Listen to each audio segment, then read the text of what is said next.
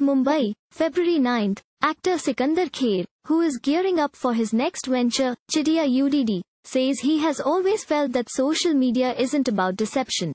I have always felt that social media isn't about deception, it's about showing the world what you really are.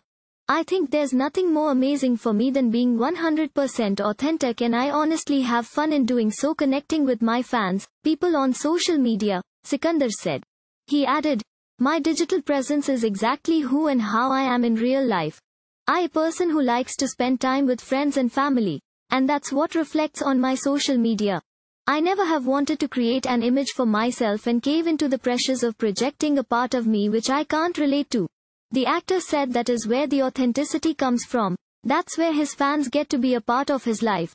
I have been told several times to show myself a certain way. But as an actor and as a person firstly, I think this part of me should be as raw as it can get. I never planned to do this to earn praise or more following. I just did what I felt was the real side of my personality and I guess that's what people resonated with, he said. Chidiya UDD also stars Slumdog Millionaire actor Madhur Mittal is produced by Harman Baweja and Vicky Bahri.